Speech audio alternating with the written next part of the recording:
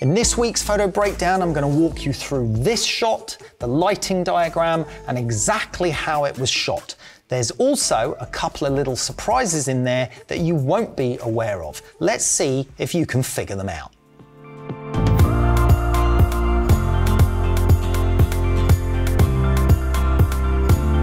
Okay, let's give you a good look at the image to see if you can decipher exactly how it was shot, lit, and the other techniques as well. So let's zoom in. Let's take a look at what we've got. We have the beautiful Santa Ozina uh, modeling for me here. This was shot in Iceland as part of a project that we did called Fashionscape, where we spent about a week traveling around Iceland, shooting landscapes, shooting fashion in landscapes. We documented the whole thing. If you'd like to see it, it's over on our education platform.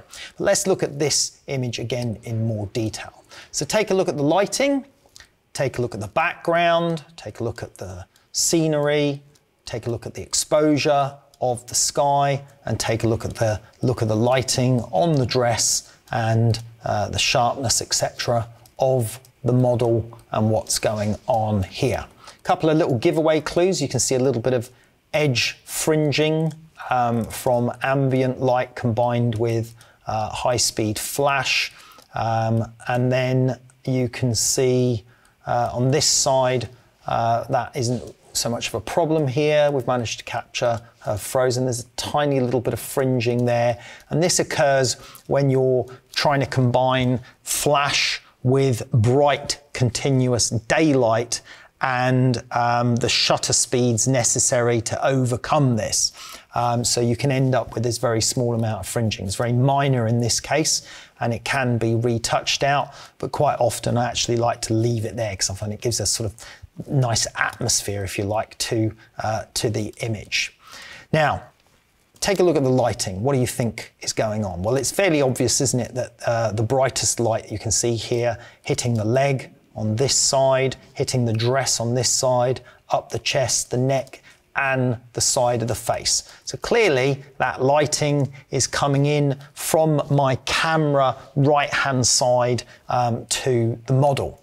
What about the left hand side of the model? What about the lighting in there? That is not complete shadow, it's not dark. There is of course some lighting getting in there on the leg and that side of the body. And then of course we have the exposure for the background as well.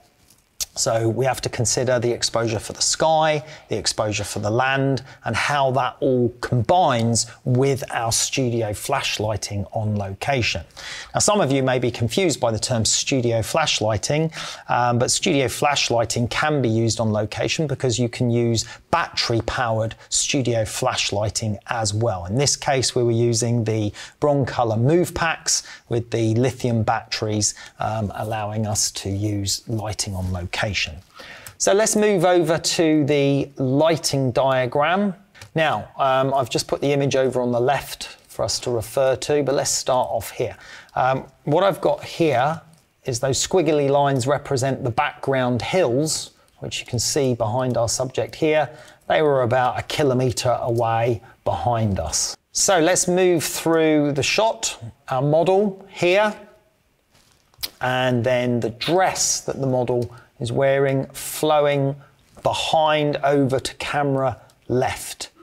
Now, one of the things you may not have realized is this, and that was a trampoline. The model was bouncing on a trampoline to get the elevation necessary to get it in the air, because I wanted that authenticity in terms of the feeling of her sort of being pulled up into the sky. The actual name of the shot, I titled it as uh, Ascension, um, and I really wanted to get that sort of atmosphere. So we actually had the model jumping, bouncing on a trampoline, and she did a wonderful job with the uh, poses necessary for the final result there. Now, the dress, as you can see, is flowing off really well to camera left, and that was because we had this. We had these ice cold winds coming down from another mountainside that was actually covered in snow. That's how cold it was out there. And those strong winds were doing the job of like a giant wind machine and they were blowing the dress for us perfectly over to camera left. Here's my camera and my camera was quite high, so um, it was probably about half a meter higher than uh, head height or a meter higher, um, so uh, higher than my normal shooting uh, position, if I remember correctly. And then over here on this side was the key light, and that was a Para 88, and that was throwing light in like so which was that key lighting that we looked at down the side of the model and down the side of the body and the dress. And the reason I was using the Para 88 is one, it's a wonderful modifier, but two, it can actually throw the light a long distance uh, because of the way that it collimates and focuses that light. We can actually utilize the Para 88 from some distance away, which meant I could keep it out of my shot, given that I've got quite a wide shot because I'm trying to incorporate some of the landscape in there as well. The next light was just another Para 88 as a fill light coming in from the left.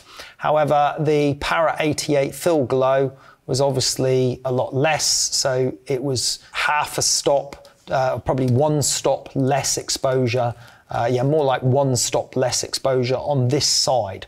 So all we're doing is ratioing the lights. So the key light was a sort of backlight key light.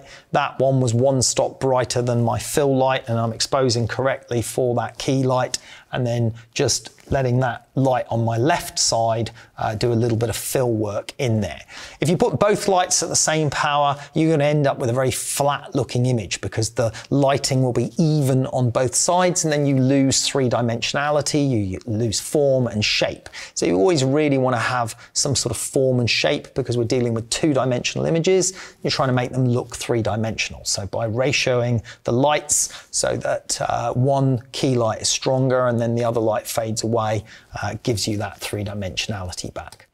Now, the interesting thing here is if we go back to the lighting diagram, these are the things you might not have figured out was here we have a filter on the lens and that was a graduated filter. Now that graduated filter was to darken the sky down. If we hadn't have used the graduated filter, we would have got the land at the correct exposure as you can see here, but the sky would have been uh, a little bit bright. Now the land was very dark in this case because it's a sort of volcanic ash surface. So that was absolutely fine. But these clouds I wanted them to look a little bit more ominous and a little bit more dark and have a little bit more um, threatening presence to them. So to do that, we put on, I think it was either a two stop or a three stop graduated filter. This sort of soft graduation diffuses away.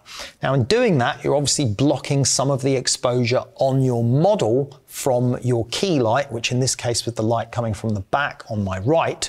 So all we do is intentionally angle that light up slightly and then basically the um, main exposure is hitting the upper part of the model and then it's not affected so much by the graduation.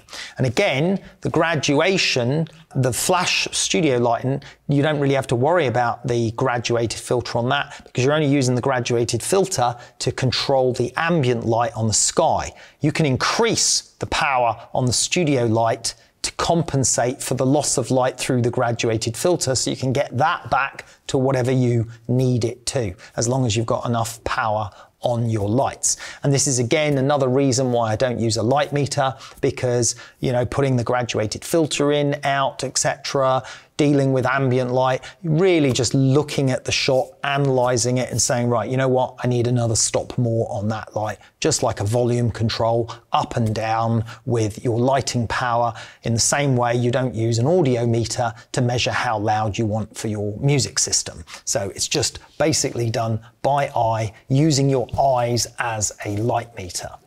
So once I'd worked out my exposure for the sky and the land with the graduated filter and I'd assessed that exposure, I was then able to add the lighting into that and adjust it to suit.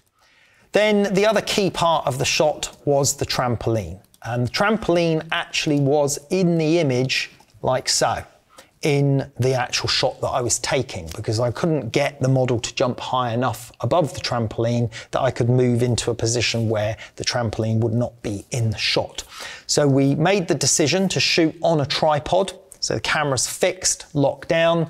We let our model do the jumps and the poses over and over again. And as long as she cleared the trampoline, uh, and the dress cleared the trampoline, then I was happy because once I saw the shot or the pose that I wanted and I could uh, identify that that had been captured, then I simply asked our model to leave the set and our assistants moved the trampoline out of the shot.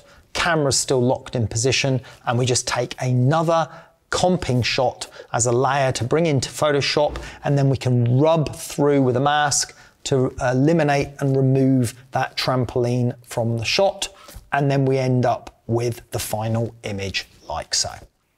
Now, if you'd like to watch that full shoot plus all of the others from that project called Fashionscape in Iceland, they're all available on Karl Taylor Education along with hundreds and hundreds of other classes. Thanks very much for watching.